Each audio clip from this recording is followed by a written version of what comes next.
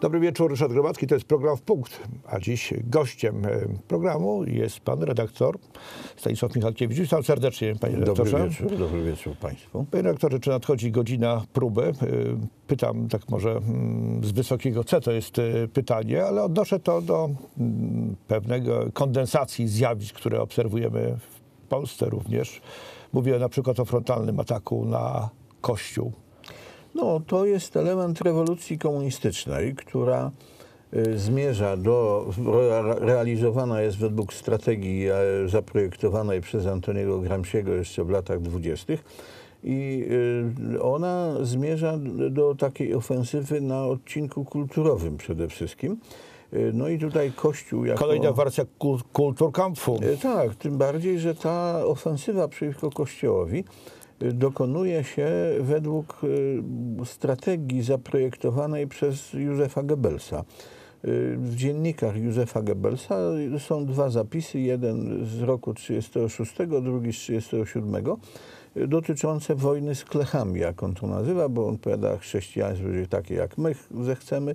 Y, No i powołał specjalnego pełnomocnika z całym aparatem i tam dyrektywa jest taka, żeby y, koncentrować się na skandalach obyczajowych i na skandalach finansowych. No to dokładnie to Pisz jest wymaluj. realizowane, Obserwujemy taką tak. sytuację. Póki co nie ma w Polsce pełnomocnika, ale są No, media, się- które tak, z się- entuzjazmem reagują, A nie realizują tylko, taką agendę. Nie tylko media, bo wie pan, obawiam się, że wkrótce nadejdzie etap trochę większej surowości i do tej wojny włączą się niezawisłe sądy, które już teraz widać, przynajmniej w przypadku niektórych sędziów, na Dają pana- próbki swoich możliwości. pana sędziego Bilińskiego, Łukasza, y, który nawet y, nie korzysta z przywileju późnego urodzenia i jednym susem chce dołączyć do takich... To ten sędzia, który zablokował e, marsz o, Ten sędzia, który uniewinnił y, tych blokujących legalny marsz, dlatego że y, przeszłość y, ONR-u i wszech, Młodzieży Wszechpolskiej mu się nie podobała, więc Była okolicznością obciążającą. Y, Tak, ale to wie pan, y, niezależnie od tego, co on na ten temat sądzi, y, to przecież albo obowiązuje prawo i sędziowie są podlegli ustawom, a on tak się zachowuje, jakby nie był podległy nikomu ani niczemu. Także że, rzeczywiście możemy się spodziewać y, najgorszego. Po więcej takich przypadków. Ja odwołam się tylko do kazusu y, żony prezydenta Poznania. Tam No to y, tak, pamiętam miał- ten wyrok, tak, pamiętam ten wyrok. Sędzia uznał, że miała prawo tak powiedzieć w obecności dzieci, bo ja wie pan, nie jestem takim tam purytaninem i sam czasami bluzgam, ale y, uzasadnienie tego było kuriozalne, że ona miała prawo w ten sposób scharakteryzować y, stan praworządności w Polsce, no to nie odstąpił od kary i w ogóle uniewinnił Gdzie ją. tu prawo? Nie, no wie pan, stan praworządności w Polsce jest rzeczywiście fatalny, ale to jest zasługa takich sędziów durnych, bo to przecież, y, wie pan, sędzia, który uzasadnia wyrok i to po trzeźwemu, jak sądzę, y, tym, że mu się nie podoba ideologia legalnych organizacji, które legalnie istnieją w państwie, no to po prostu albo jest durniem, albo jest łajdakiem, tertium non datur. Także ja to mówię z całą świadomością, że pan sędzia Łukasz Biliński może mnie zaciągnąć przed niezawisły sąd i tam mi złoić skórę. Ale jest pan gotowy ponieść konsekwencje w E, imię Mam nadzieję, że... wolności wypowiedzi. Tak, mam nadzieję, że jednak, y, znaczy, gdyby wolność wypowiedzi nic nie kosztowała, to by znaczyła, że nie jest nic warta. To prawda. E, Czy w, mówiąc o praworządności, nie ma pan wrażenia, panie redaktorze, że y, dokonała się już operacja na języku? Y, To też jest zawsze ce, cechą tych procesów, które zainicjował, czy realizował wręcz e, Antonio Gramsci, przywołany przez pana. Tak. E, Przecież to tak zwana opozycja totalna szermuje na prawo i na lewo pojęcie praworządności. Pan opisuje przypadki tej praworządności w jakimś krzywym e, zwierciadle, zaprzeczającej samej sobie. No wie pan, y, zanim tu przyjechałem, to przeczytałem taką wiadomość, które, a co do której aż mi się nie chce wierzyć, że może być prawdziwa. Czyli? Otóż pan Ireneusz Lisiak, y, publicysta, autor książek, jechał pociągiem do Wrocławia, czy gdzieś tam, no i jechał w przedziale z jakąś panią, której tam przedstawił swoją opinię na temat sodomitów i gomorytów. Y, No i kiedy pociąg zajechał na stację we Wrocławiu, pojawiła się policja, y, pojawił się kierownik pociągu i wyprosili Pan, go. pan żartuje, panie No nie, wypro- no, przeczytałem to, więc myślę, że to jest jednak i to na Onecie. Nie sądzę, żeby to zmyślili. Y, Więc jeżeli takie rzeczy się dzieją, to znaczy, że wkraczamy w etap Godzina próby nadchodzi. Tak, nie, no to nikt się nie może spodziewać dnia ani godziny. Y, Wszelkie gwarancje swobód obywatelskich, a pan Adam Bodnar, Rzecznik Praw Obywatelskich. nie ośmieli się, jestem przekonany, że nie ośmieli się nawet pisnąć słowa w tej sprawie, bo wie, żeby z niego Michnik zrobił marmoladę. Y, Wracając do Kościoła, jaki jest cel tej y, ofensywy, o którą y, opisujemy wobec Kościoła w Polsce? Myślę, że Cel jest zniszczenie, sparaliżowanie? podwójny. Myślę, że jest podwójny. Generalnie w tej rewolucji komunistycznej generalnie chodzi o to, żeby zniszczyć wszelkie organiczne więzi społeczne, bo celem tej rewolucji, zresztą nawet jak była realizowana według strategii bolszewickiej, jest y, państwo totalitarne, które tym się charakteryzuje między innymi, że nie toleruje żadnej władzy poza własną, władzy rodzicielskiej, władzy religijnej, władzy właściciela nad rzeczą, żadnej. No i chodzi o to, żeby właśnie tę władzę religijną przy pomocy tego typu przedsięwzięć y, zniszczyć. Jeśli chodzi o Polskę, y, to tu jest jeszcze drugi cel. Otóż y, nasze państwo i nasz naród jest przedmiotem operacji y, bardzo finezyjnie prowadzonej i chodzi o to, żeby przed spodziewaną okupacją żydowską pozbawić naród polski nawet takiej Mocne namiastki. słowa. Ależ proszę pana, nie ma się czego innego spodziewać i nie ma tu owijać co w bawełnę, dlatego że po deklaracji pana Majka Pompeo z 14 lutego tego roku, której wzywa on naszych dygnitarzy państwowych, żeby przyspieszyli pracę nad kompleksowym ustawodawstwem, które nada Dotyczącym pozory legalności dla żydowskich roszczeń wobec Polski. y, Pozaspadkowych, tak, zaznaczmy. no to nie ma tu e, złudzeń, e, już nie ma co podtrzymywać sobie złudzeń. Realizacja tych roszczeń oznacza de facto okupację Polski. Naród polski zostanie sprowadzony do rangi trzeciej kategorii, bo pierwszą będą stanowili okupanci, drugą e, będą stanowili kolaboranci, a reszta trzecią.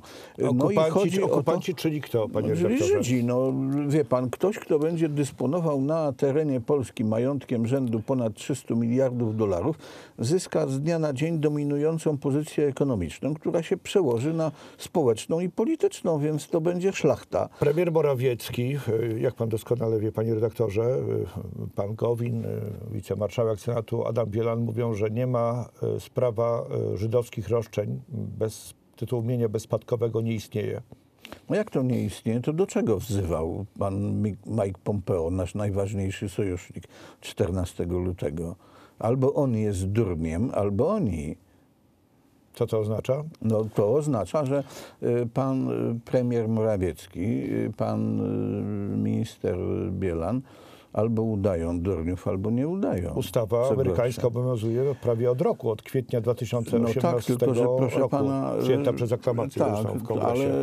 ale ona y, zobowiązuje sekretarza stanu, a więc właśnie jego. Do udzielania pomocy organizacjom żydowskim. Nie, nie, żeby najdalej do jesieni, bo dostał 18 miesięcy na to, żeby najpóźniej jesienią tego roku złożył kongresowi sprawozdanie z tego, jak się Polska z tego obowiązku wywiązuje. No to się nie wywiązuje póki co. A, to wie pan jak tak. Zresztą nie wiemy, czy się nie wywiązuje. No nie znamy żadnych faktów, które by na to Tak, no wskazywały. bo wszyscy milczą na ten temat. Nawet nieprzejednana opozycja milczy. Niechby spróbowała coś powiedzieć, to by pan Schetyna zaraz by mu przypomniano, skąd mu nogi wyrastają i żadna siła by go nie uratowała. Więc ja, wie pan, podejrzewam, że y, już jakieś porozumienia, jakieś cyrografy zostały podpisane. I dlatego pan Pompeo ponagla naszych dygnitarzy. Ale, Y, I tylko oni nie wiedzą, co powiedzieć. Kiedy, no. w jakich okolicznościach, podczas, y, Proszę pana, w jakich sytuacjach takie dokumenty mogą być podpisane? Nic o, o tym nie wiadomo póki co. No nie no, wie pan, były takie wydarzenia zagadkowe. Na przykład y, prawie dwugodzinna rozmowa pana prezydenta Dudy w konsulacie Rzeczypospolitej w Nowym Jorku z przywódcami organizacji żydowskich, Y, To, co wiemy o tej rozmowie, to wiemy z relacji czy z wypowiedzi Abrahama Foxmana, szefa Ligi Antydefamacyjnej, dla nowojorskiej prasy, że y, pan prezydent się zobowiązał nawet, że jakieś ustawodawstwo zwalczające antysemityzm będzie w Polsce wprowadzone. No i Abraham Foxman powiedział, że sprawa roszczeń była przedmiotem tej rozmowy. Więcej nie chciał powiedzieć. Po drugie, y, rząd in był w Izraelu. No to nie wyobrażam sobie, żeby nie No, było ale to w, rozmowy o w, w czasie, kiedy premierem była pre, y, Beata Szydło E, jeszcze. Tak, no i to nic, pań, ciągłość państwa istnieje cały czas, bo Nie, na no, to, bez wątpienia. premierem. Natomiast jak to, jak to połączyć z tymi szarżami antypolskimi w wykonaniu premiera To- Netanyahu i y, Ja mam własną- pełniącego obowiązki ministra spraw Ja zagranicznych mam pana własną Kaca? teorię na ten temat, wie pan.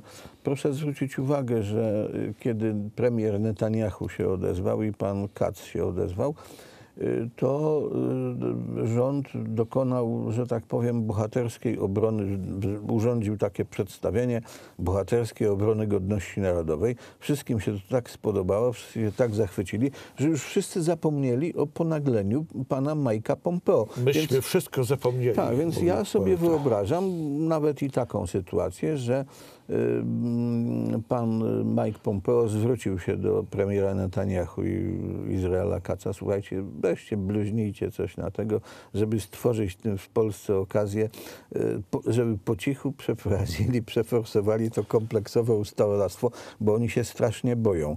No i kiedy już to się wszystko stało, to co zrobił pan Mike Pompeo? Wezwał wszystkich, żeby się opamiętali i przestali się kłócić, no bo sojusznicy naszych sojuszników nie mogą się kłócić. No i kiedy przestali, bo teraz już przestali, no to wszystkich pochwalił. Myślę, że taka hipoteza jest równie dobra jak każda inna. W, y, jak pan zapatruje się na y, taki koncept, o którym mówi, on funkcjonuje w przestrzeni publicznej? Chodzi o wznowienie prac ekshumacyjnych w Jedwabnem tego No rodzaju. to wie pan, to jest jeszcze jeden, jeszcze jeden taki, może to się stać. Sławomir Cetkiewicz mówi, że sprowadziłoby to na nas nieszczęście. Nie sądzę, nie sądzę. Wie pan, to może być taki mm, trik socjotechniczny z tą ekshumacją, żeby się o niej mówiło Z naszej strony? do wyborów jesiennych, a potem się okaże, że Ekshumacji nie rzeczywiście będzie? w obliczu nieszczęścia to nie możemy sobie pozwolić na takie luksus. Zresztą premier Netanyahu nam nie pozwoli, ani nasz najważniejszy sojusznik powie, no, bo mi tutaj...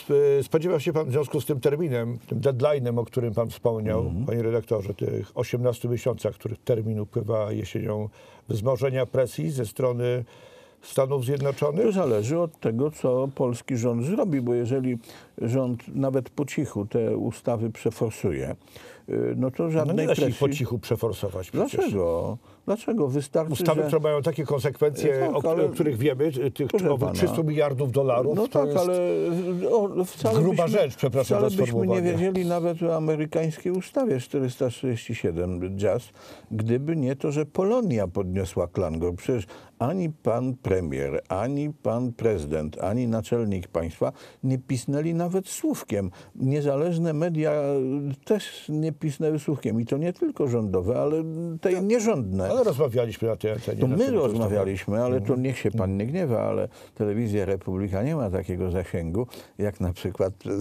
telewizja rządowa, czy nawet telewizja nierządna, tam, ta od pani Justyny Pochankę. Więc y, nikt, wystarczy, że po prostu nikt nie będzie na ten temat nic mówił. Y, no i, i tyle. A to po cichutku wszystko wejdzie w życie, a kiedy już tam się Panie redaktorze, pan rysuje sytuację e, bezalternatywną. No proszę pana, bo nie ma alternatywy. Zawsze jest. No jest, tak. Ja tylko, że obawiam się, że to już za późno na wykorzystanie takiej alternatywy, bo gdyby... Co mogło być taką alternatywą, gdyby- żeby już- powstrzymać te Już roszczenia? panu mówię. Proszę zwrócić uwagę, że na terenie dzisiejszej Białorusi Niemcy wymordowali co najmniej tyle samo Żydów, co Einsatzgrupy działały tam z ogromną co na intensywnością. terenie obecnego terytorium polskiego. Ale nie słyszałem, żeby ktokolwiek się odważył wystąpić z jakimikolwiek roszczeniami do Aleksandra Łukaszenki. bo On by im ruski miesiąc pokazał. Otóż wie pan, Moim zdaniem w tej sprawie, w tak ważnej sprawie należało zagrać w bank. To znaczy, kiedy tylko okazało się, że w Stanach Zjednoczonych ruszyły prace nad tą ustawą, powinien ktoś pojechać bez ostentacji żadnej, ale powiedzieć tak, jeżeli nie wstrzymacie prac nad tą ustawą, to Polska występuje z NATO i będziecie mieli ruską broń tysiąc kilometrów bardziej na zachód. No to wybierajcie. Mało, mało wyobrażalny w ogóle A scenariusz. nie, wie pan, jak ktoś chce rządzić państwem i proszę pana chronić interes narodowy i państwowy, to musi być gotowy na ryzyko. Polityki bez ryzyka uprawiać się nie da. Bez wątpienia, to w, w, w takim scenariuszu, który pan ym, ym, rysuje, panie redaktorze, no to zamienilibyśmy y, jedną kuratelę na inną. No dobrze, ale uchronilibyśmy się przed e, żydowską okupacją. To chyba warto, wie pan, rozważyć taką możliwość, przynajmniej rozważyć. Mówi pan o e, żydowskiej e, okupacji, o tych gigantycznych roszczeniach. Właściwie jaka to jest kwota? Bo te 300 Ponad 300 miliardów, miliardów do, to jest kwota obowiązująca, bo ta kwota się zmieniała na przestrzeni E, lat. Tak, ale to wie pan, ja biorę to z listu, jaki Światowa Organizacja Restytucji Mienia Żydowskiego, a więc organizacja, która się takimi sprawami zajmuje, jej osąd jest miarodajnym w moim przekonaniu, przysłała na początku ubiegłego roku, w styczniu ubiegłego roku do Ministerstwa Sprawiedliwości w Warszawie. I tam ta kwota, to znaczy bilion złotych, bo tak, na taką kwotę zostały Czyli w przybliżeniu te 300 roszczenia, to miliardów. według aktualnego kursu ponad 300 miliardów dolarów. To jest równowartość trzech rocznych budżetów państwa polskiego razem z długami. To prawda, no ale mówimy o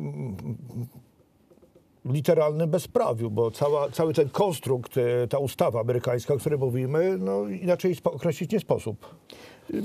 Panie redaktorze, ta ustawa, na podstawie tej ustawy rząd Stanów Zjednoczonych zobowiązał się do dopilnowania, żeby Polska te roszczenia zrealizowała, a ma bardzo dużo instrumentów, żeby ten cel osiągnąć. Co więcej, w tej ustawie najgroźniejszy i właściwie już nie pozostawiający wątpliwości jest artykuł trzeci, y, który dotyczy y, sposobów, w jaki y, te, to mienie bezdziedziczne ma być, y, że tak powiem, wykorzystane. Więc on ma, ono ma być wykorzystane na trzy cele.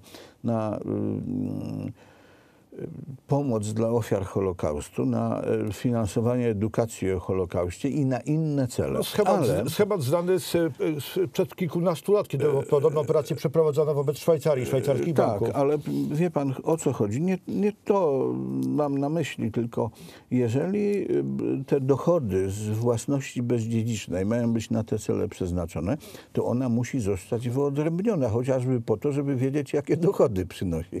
Po drugie, jak już zostanie wyodrębniona, to musi być przez kogoś zarządzana. No chyba nie przez jakieś czynniki polskie.